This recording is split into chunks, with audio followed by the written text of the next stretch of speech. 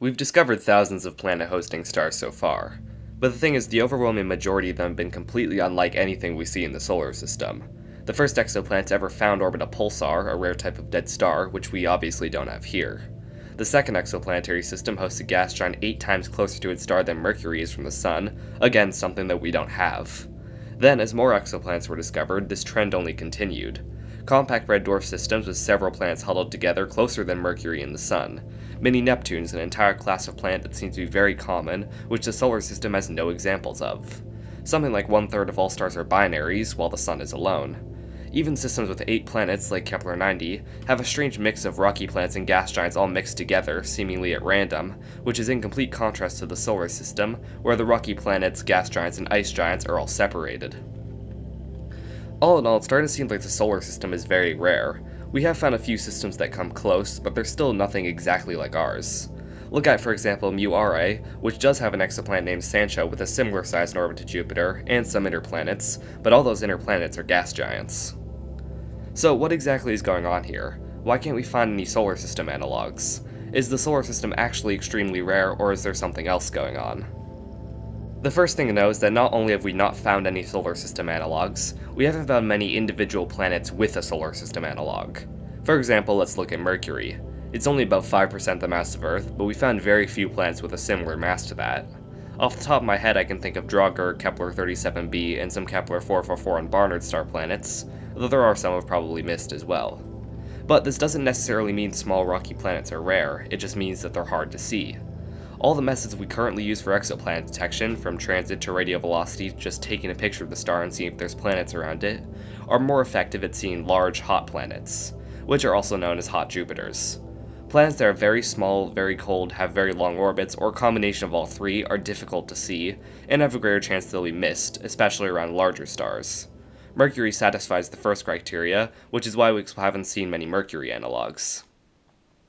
And of the Mercury analogs we have seen, such as Kepler-37b, which is a very similar size and temperature, they're usually around smaller stars.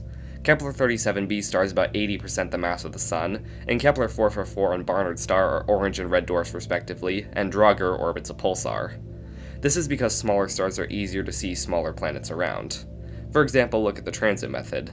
Let's say unrealistically that a planet blocks 1% of a sun-like star's brightness every time it transits but around a smaller star that planet will block a larger percentage of the star's total light, say 10%, making it easier to see, which is why most of the exoplanets we've found have been around smaller stars. The point is, we have a more difficult time finding planets around sun-like stars in comparison to red dwarfs. Plus, sun-like stars only make up like 10% of all the stars in the universe, so they are decently rare and that's why of the planets around Sun-like stars, most are either gas giants, such as the hot Jupiter Dimidium, the first planet found around a Sun-like star, or mini Neptunes like Kepler-22b. Of course, we do know of rocky planets around Sun-like stars, such as Kepler-452b, but for the most part they are difficult to see and easy to miss. Distance also matters. Closer stars are easier to see planets around. The closest sun-like star to us is Alpha Centauri A, which famously has two other stars orbiting around it, meaning it's definitely not a solar system analog. But even if those stars didn't exist, there's some evidence that it has a big gas giant at a similar distance Earth is from the Sun on an eccentric orbit, which is again not a solar system analog. So the further away a star is, the easier it is to miss planets around it, especially small ones. So if we were around another star looking at the Sun, there's a very good chance we'd miss Earth and Venus, and are basically guaranteed to miss Mercury and Mars, though that depends on the distance and angle we're looking at the system from. So that doesn't suggest small rocky planets around sun-like stars are rare, it suggests that we just don't have the capability of reliably detecting them yet, except for a few lucky examples. But what about the outer solar system? Well, for Jupiter at least, we have some pretty good analogs, like Aegir, which is almost exactly one Jupiter mass, orbiting 3.5 AU away from its star Ran, which is about 80% the mass of the Sun. For comparison, Jupiter is one Jupiter mass, orbits 5 AU away from its star the Sun, which is 100% the mass of the Sun. So there are some differences, but for all intents and purposes, it's a pretty similar planet. And there are a bunch of planets with the right mass but wrong orbit, like Kepler 167e, or wrong mass but right orbit, like 51 Eridani b. So we know Jupiter analogs do exist. If we were looking at the solar system, depending again on the distance and angle, there's a good chance we'd be able to see Jupiter. Probably not Saturn though, as off the top of my head I don't know of any Saturn analogs that aren't either much bigger or much younger, though I may have missed some. We know of at least one planet similar to Neptune, Lalande 21185c, with a similar mass and temperature.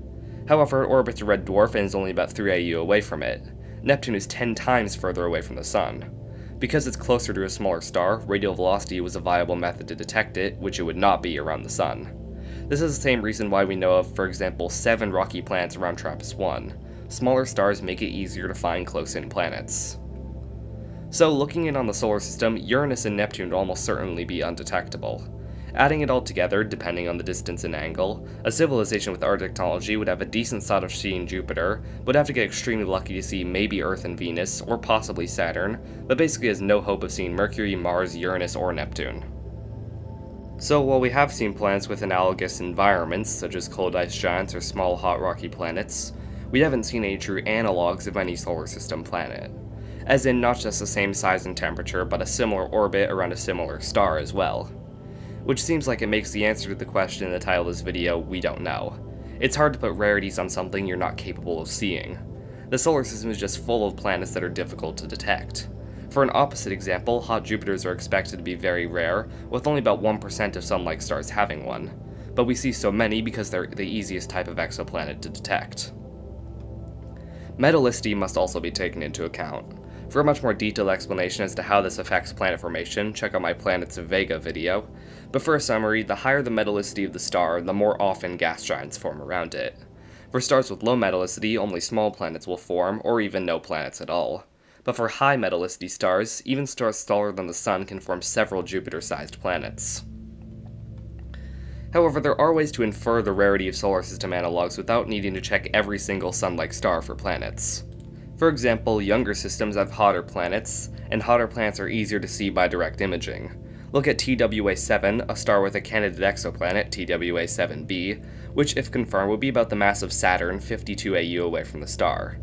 The only reason this planet is visible is because it's only like 6 million years old. Give it a few billion years to cool down, and this thing would be basically undetectable to modern instruments. So the best way to look for a solar system analog is to look for systems that will eventually become solar system analogs.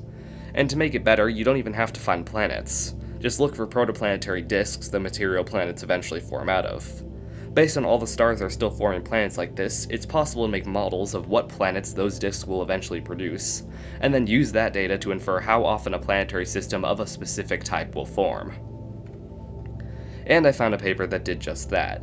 Though before I explain it, just be aware that it was published in 2017, 8 years ago. I tried to find any new work refuting it, but from my quick search I didn't find anything, so I'm decently confident that the information presented will be accurate, but do also be aware that it is an older paper and there may be new data I've missed that gives much different numbers. Anyways, the paper will be linked in the description, but essentially they created a planet formation model composed of a disk with gas and planetesimals, like what's seen in real protoplanetary disks. They also model planetary migration, how planets migrate to new orbits through the disk, as well as factors that can slow that down. They consider a solar system analog as any system with only rocky planets within 1.5 AU away from the star, and at least one gas giant beyond 1.5 AU. And they found something pretty interesting. They ran several thousand simulations of many different types of protoplanetary disks, and found 668 models where a solar system analog consisting of 1 to 3 gas giants, 0 to 4 ice giants, and 100 to 200 rocky planetary embryos. That may sound like a lot, but in total, a solar system analog only formed 4.3% of the time. When it did form, the protoplanetary disks were on the more massive end of the spectrum, with low mass disks not forming them at all. Solar system analogs were much more common in disks with small planetesimals between 100 meters and 1 kilometer wide. In systems like that, solar system analogs were found 26% of the time. They also found that solar system analogs were much more common in systems with low Type 1 migration of planetesimals. Type 1 migration occurs in planets that aren't massive enough to carve holes in the disk, and usually migrate inwards extremely quickly. This happens faster than the disk can dissipate, and faster than time it takes for gas giant cores to form, so systems with high Type 1 migration rate have a harder time forming large gas giants. For solar system analogs to form, the rate of Type 1 migration had to be limited significantly. So, assuming this paper is correct, less than 5% of all star systems will be solar system analogs which definitely would make systems like the solar system rare. For comparison, the paper also gives the occurrence rates for other types of systems. Systems with only rocky planets, no gas giants, occurred 64.5% of the time, Icy giant systems, or systems with rocky planets and at least one ice giant, happened 13.4% of the time, and gas giant systems, or systems with gas giants anywhere in the system but also rocky planets and ice giants, occurred the remaining 22.1% of the time. So while there is definitely a technological reason we haven't found any solar system analogs, it also does seem that, at least if this one paper is correct, that solar system analogs are actually just generally rare. What exactly the implications of that are is anyone's guess. Maybe a planet like Earth needs a Jupiter analog in its system to corral asteroids and remain habitable long term, or maybe the gas giants have to be far away to avoid the inner planets becoming starved of water or something. But that's just my speculation. For now, this is just one estimate of the rarity of solar system analogs, roughly 4.3% of all stars. There will almost certainly be others, but unfortunately I've been very busy recently and haven't been able to cross-check every claim with other papers, so I am just taking this one at face value. Maybe it's right, or maybe it's completely off and the true rarity is something much different. Either way, these will remain estimates until we can actually start observing true solar system analogs. Because right now, while there are some systems that get kinda close, we haven't found a single star with a system similar to our own. Whether that be because of detection bias, or because of the intrinsic rarity of solar system analogs, or a combination of both, it is pretty interesting nonetheless. Thank you for watching. If you enjoyed, check out my other videos about exoplanets and space exploration.